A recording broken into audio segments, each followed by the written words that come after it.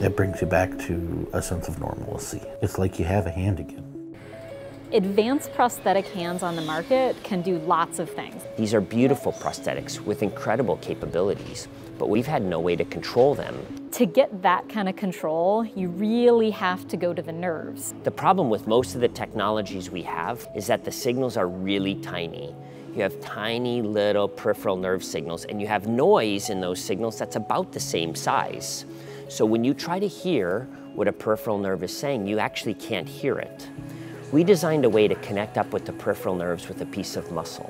And then what happens is when a tiny little peripheral nerve signal comes down the nerve, it goes into the muscle and it becomes a huge muscle signal. We've now seen, to my knowledge, the largest voltage recorded from a nerve compared to all previous results. That makes these signals big enough um, that we can record them and interpret them for controlling a prosthetic hand brought back into my mind the thought of, well, if I had something like this, I could actually be out working without risking hurting myself.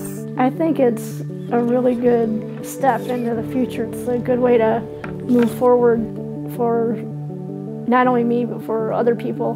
You can make a prosthetic hand do a lot of things, but that doesn't mean that the person is intuitively controlling it. So the, the difference is the person just thinks about moving. This worked on the very first time we tried it. So now we can access signals associated with individual thumb movement, multi-degree of freedom thumb movement, uh, individuated fingers, and this opens up a whole new world for people who are upper limb prosthesis users.